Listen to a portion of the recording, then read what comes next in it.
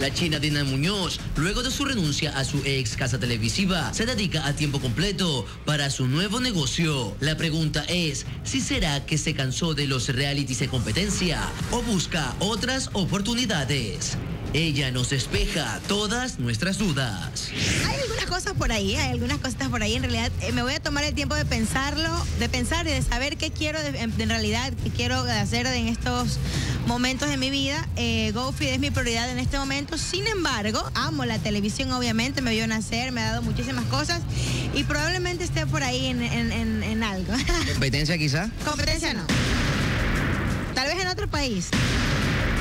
Quizás siga también los pasos de la muy popular y sonada Ámbar, ¿no? No puedo decir nada todavía, por favor. Se dice el el santo. También te vimos una faceta muy bonita, eh, que lo hiciste muy bien eh, en la parte de entretenimiento, de dar a conocer, de noticias, de un segmento. Eso me encanta, por ejemplo, sí, me encantó muchísimo compartir, parando el espectáculo, pero no sé, vamos a ver, vamos a ver en realidad qué es lo que decide esta China Muñoz en unos cuantos meses o unas par de semanas, no sé todavía. ¿Consideras que no te dieron la apertura necesaria para poder continuar en ese camino? El ciclo de calle se terminó y se cerró en mi vida, entonces vamos siempre por cosas nuevas, por mejorar, por aprender, por disfrutar y por vivir esta vida que es una sola. Aparte de la comunicación, ¿tú sentiste que podías dar más todavía? Siempre puedes dar más, sí, yo sentí que podía dar más, lógicamente, pero bueno, si ya no se dio, no se dio. ¿Consideras que se te acabó los cinco minutos de fama?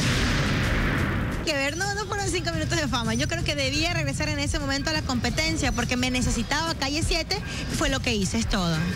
Entonces la China de largo, no es que la vamos a olvidar en la pantalla. Nada que ver, a esta chinita no la pueden olvidar fácil, por favor. No, no, no, no digas eso.